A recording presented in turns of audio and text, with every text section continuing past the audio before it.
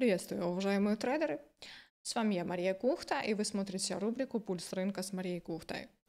А, в сегодняшнем обзоре а, мы с вами посмотрим а, текущую картину по тем торговым идеям, которые вы от меня получали в прошлый понедельник на обзоре, а также будут свежие торговые рекомендации на текущую торговую неделю по валютному рынку. Ну что ж, давайте начнем с моих прошлых торговых идей. Это продажа эфира и продажа фондового индекса Dow Jones. Давайте начнем с Dow Jones.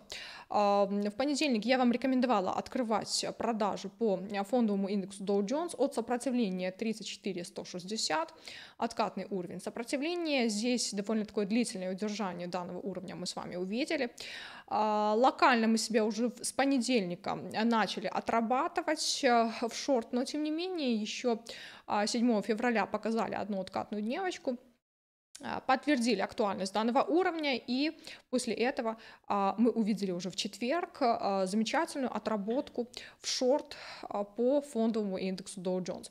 Поэтому торговая рекомендация себя краткосрочно уже отработала, куда дальше уйдет данный фондовый индекс, но в принципе, если учесть характер Э, движение в четверг. Э, нам нужно, чтобы а, дальше мы подтвердили э, этот шартовый импульс, то есть подтвердили его актуальность. И если у нас не произойдет лонговое перекрытие, в таком случае дальше будем снижаться по данному фондовому индексу.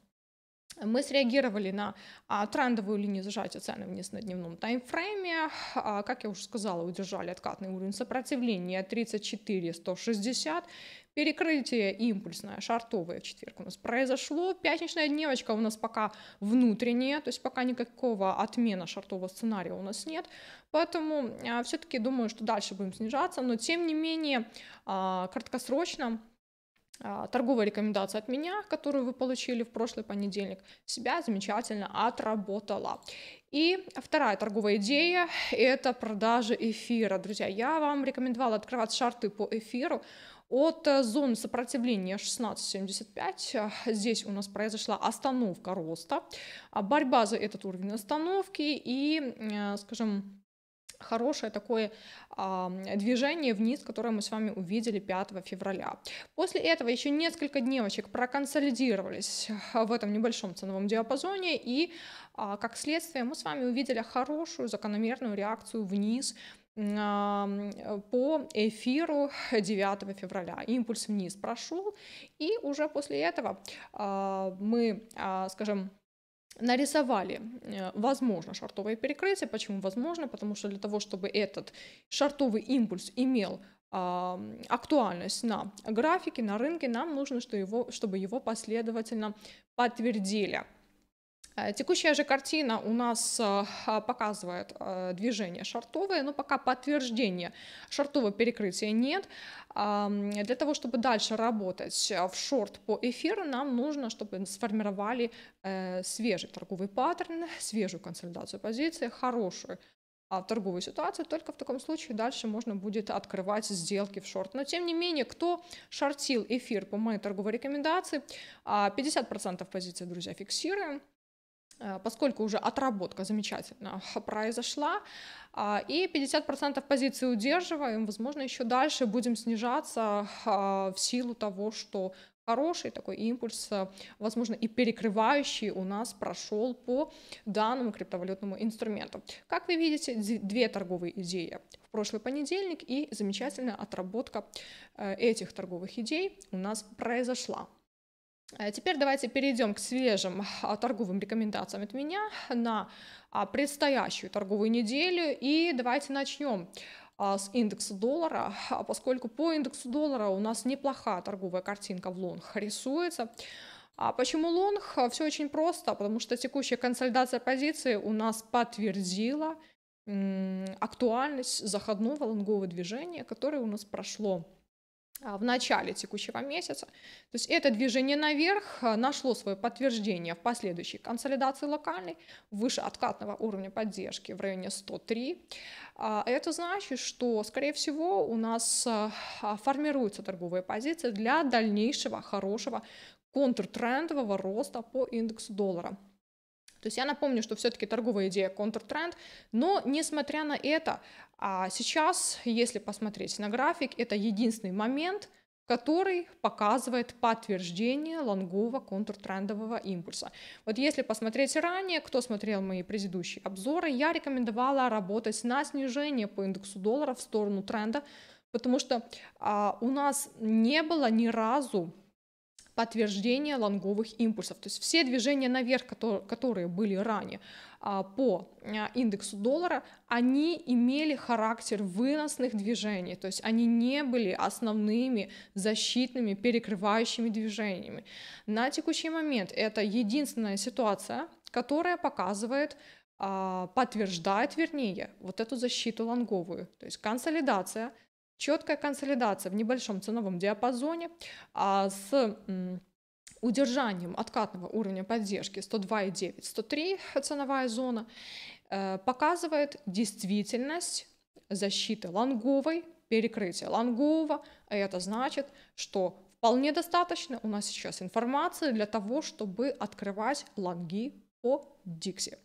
Поэтому моя торговая идея для вас. Работаем на покупку по индексу доллара э, с целью на обновление текущего а, локального максимума, который у нас образовался 7 февраля и выше. То есть следующая а, ценовая отметка для роста район 105.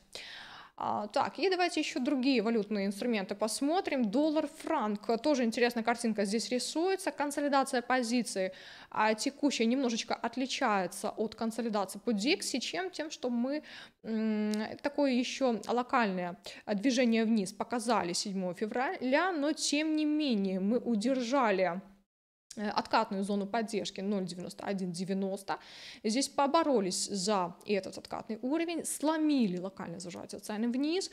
Э, то есть, если по Dixie у нас нарисовалось выравнивание, консолидация позиций с выравниванием, то по доллар-франку у нас было небольшое зажатие цены вниз, перекрытие лонговой образовалось, пятничная дневочка закрылась выше закрытия дневки четверка, э, подтвердила наличие Э, поджатие наверх локального подтвердило а, то, что сжатие цены вниз у нас уже сломили. И это значит, что а, вот эта консолидация подтверждает актуальность лонгового перекрытия, которое у нас произошло в начале текущего месяца. Перекрытие есть, консолидация, которая подтверждает этот перекрывающий импульс, говорит о том, что а, с большой долей вероятности доллар-франк у нас дальше собирается двигаться наверх с целью на пробитие сопротивления 0,9285 и следующая цель для роста сопротивления 0,9340. Поэтому моя торговая рекомендация, открываем покупки и ожидаем хорошего дальнейшего роста по доллар-франку. А, доллар-иен, ну тоже давайте еще посмотрим. А, по доллар-иене у нас пятничная дневочка значит, а, образовалась такой определяющей. Почему? Потому что именно пятничная дневочка показала наличие поджатия наверх. То есть если две предыдущих дневки у нас были внутренними в рамках вот этого шартового движения от 7 февраля, то дневка в пятницу Э, подтвердила актуальность откатного зеркального уровня поддержки 103,5, э, вернее 130, прошу прощения, с половиной.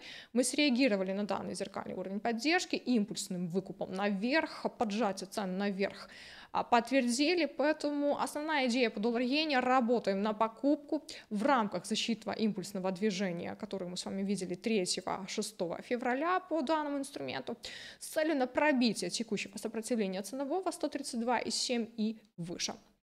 То есть, в принципе, несмотря на то, что а, тенденция у нас нисходящая, тренд шортовый, уже такие неплохие предпосылки с подтверждениями у нас рисуются для того, чтобы мы смогли открыть сделку на покупку контртренд.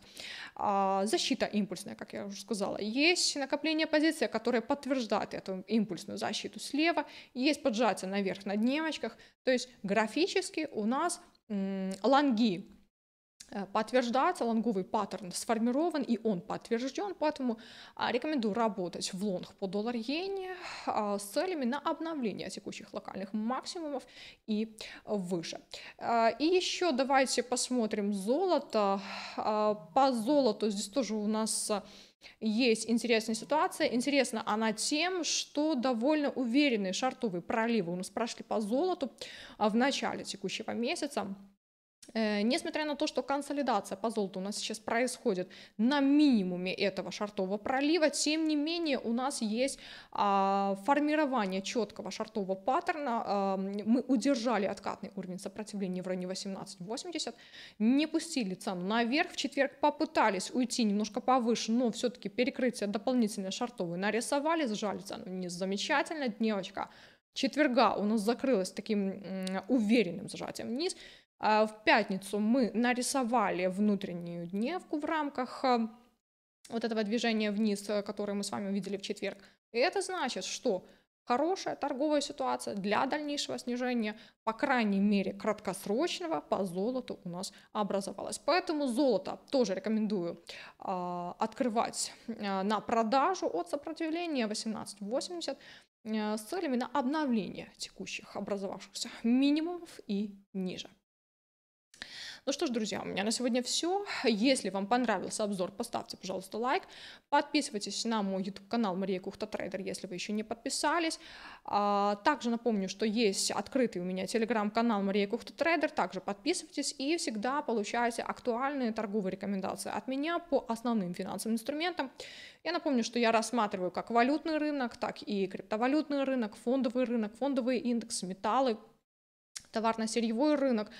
А, поэтому а, подписывайтесь, и а, в зависимости от того, какие рынки вы торгуете, вы для себя можете хорошие торговые рекомендации от меня всегда регулярно получать. Также напомню, что обучающий контент также присутствует у меня на YouTube-канале, поэтому, кому интересно, обязательно подписывайтесь. Всем хорошего дня, друзья, еще раз спасибо за просмотр, прибыльной торговой недели и до новых встреч!